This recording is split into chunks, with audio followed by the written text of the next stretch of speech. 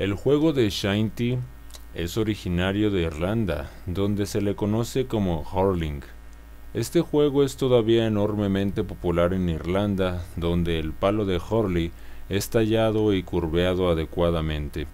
En la Escocia medieval, los jugadores de Shinty en ocasiones formaban equipos bastante grandes de villas rivales, especialmente en el día de Año Nuevo, tomaban como campo de batalla los lagos congelados que les servían como suelo en el cual se resbalaban y patinaban fácilmente.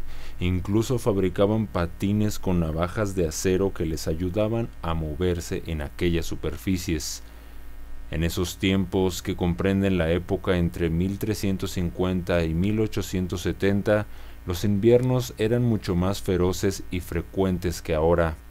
El hockey sobre hielo es apenas una reflexión vaga de lo que eran aquellas batallas sobre el terreno congelado, las cuales no necesitaban ciertamente de hielo para celebrarse, puesto que también se realizaban sobre el pasto. A los jugadores les estaba permitido taclear y bloquear a diestra y siniestra a su contrario, usando su palo de shinty como herramienta principal.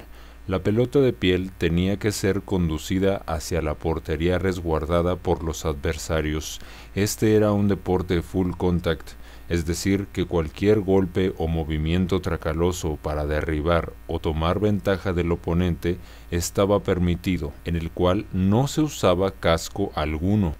Así que ya te puedes imaginar el tipo de lesiones a las que estaban expuestos los deportistas. A aquellos se les era permitido beber alcohol en las partidas, quizás para tomar así algo de coraje a la hora del enfrentamiento. El dato curioso es que este juego inspiró el deporte que aparece en la historia de Harry Potter, conocido como Quidditch, el cual es toda una realidad también y cuenta con 300 equipos en todo el mundo actualmente. Si tú viviste en Inglaterra alrededor del año 1252 y eras un hombre con más de 15 años de edad, la ley te exigía que fueras propietario de un arco y una flecha, pues la arquería era una habilidad esencial que los civiles tenían que conocer y en caso de que alguna guerra se desatase, pudieran formar parte del ejército que defendiera la nación británica. Los arqueros eran fuertemente entrenados hasta el punto de ser capaces de lanzar 12 flechas por minuto.